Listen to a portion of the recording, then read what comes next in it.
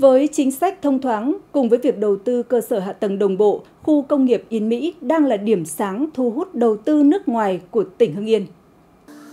Sau một thời gian khảo sát, nhận thấy vị trí địa lý giao thông thuận lợi, hạ tầng được đầu tư đồng bộ, hiện đại và có sẵn mặt bằng, nhà máy sản xuất bao bì Jiazang đã quyết định đầu tư sản xuất tại khu công nghiệp Yên Mỹ với diện tích trên 6 hecta.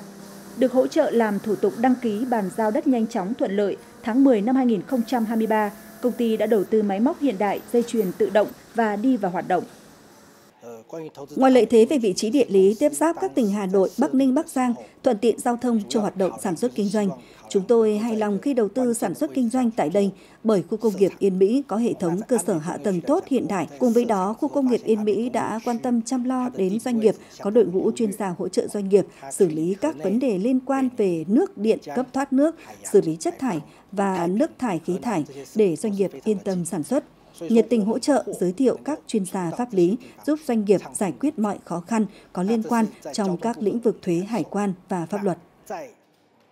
Khu công nghiệp Yên Mỹ có quy mô 280 ha do Công ty Cổ phần Phát triển Khu công nghiệp Viglacera Yên Mỹ làm chủ đầu tư với tổng nguồn vốn trên 2.300 tỷ đồng.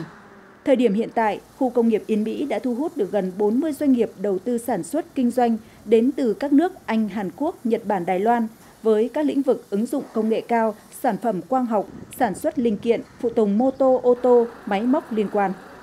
Chúng tôi đã xây dựng các bộ tiêu chuẩn về các cái tệp khách hàng để thu hút nhà đầu tư. Trong đó chúng tôi xây dựng những cái chỉ tiêu, tiêu chí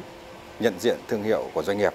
về các cái thủ tục chế độ chính sách của nhà nước thì được công ty hỗ trợ tối đa theo đúng quy định của pháp luật. Tất cả các thủ tục giao đất cho thuê đất tiến hành một cách nhanh chóng, bài bản. Hàng tháng chúng tôi đều có phát phiếu thăm dò ý kiến khách hàng. Đối với nội dung nào chưa hoàn thành thì chúng tôi sẽ cố gắng chỉnh sửa làm sao phù hợp và phục vụ cho khách hàng tốt nhất. Với vai trò là khu công nghiệp tiên phong và trọng điểm của khu kinh tế Hưng Yên, công ty cổ phần phát triển khu công nghiệp Viglacera Yên Mỹ đang tiếp tục nỗ lực để lấp đầy khu công nghiệp, phấn đấu hoàn thiện hạ tầng vào năm 2026 đồng thời tăng cường các hoạt động xúc tiến đầu tư, thu hút thêm nhiều các nhà đầu tư mới bằng việc chú trọng xây dựng khu công nghiệp xanh, sử dụng nguồn năng lượng sạch, áp dụng hệ thống quản lý thông minh, đáp ứng nhu cầu ngày càng cao của các nhà đầu tư.